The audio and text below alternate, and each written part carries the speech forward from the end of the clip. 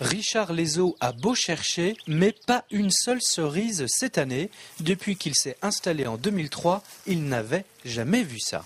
Une année sans cerise, ça nous est jamais arrivé jusque-là. Je pense que c'est la combinaison de plein de facteurs, combinaison euh, qu'on retrouvera aussi bien sur le noyau que sur le pépin, euh, des températures qui étaient très basses. Hein. On a passé un mois d'avril avec des températures qui étaient inférieures euh, d'une moyenne de 6 à 7 degrés par rapport aux températures que l'on a connues en 2011.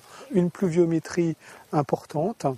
Euh, dans le sens où euh, on a eu euh, au mois d'avril un épisode où pendant 12 jours on a eu de la pluie, plus des, des, gelées. Hein. on a eu une gelée tardive au mois d'avril et encore une gelée blanche très forte au mois de, au début mai, qui ont fait que bah, on est dans cette situation-là. Chloé, tu viens ma fille?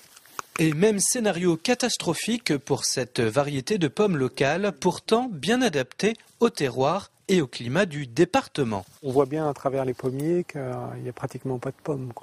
On a une perte sur, la variété qui est de l'ordre de 90%. Pour nous, c'est vrai que c'est une année assez catastrophique. Et que dire du mois de juin, loin d'être à la hauteur en termes de chaleur et d'ensoleillement, et puis beaucoup trop pluvieux pour permettre aux arboriculteurs d'avoir par exemple aujourd'hui des framboises prêtes à consommer. Normalement, on est dans une plantation où on devrait avoir une maturité euh, optimum en ce moment.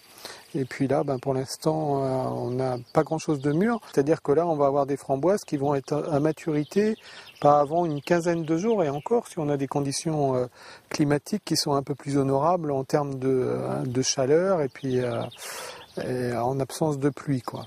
Mais heureusement, au verger de la brunetière, on y cultive aussi d'autres fruits, entre autres, la fraise qui, par bonheur pour Richard, s'accommode sans souci de cette météo parfois bien capricieuse.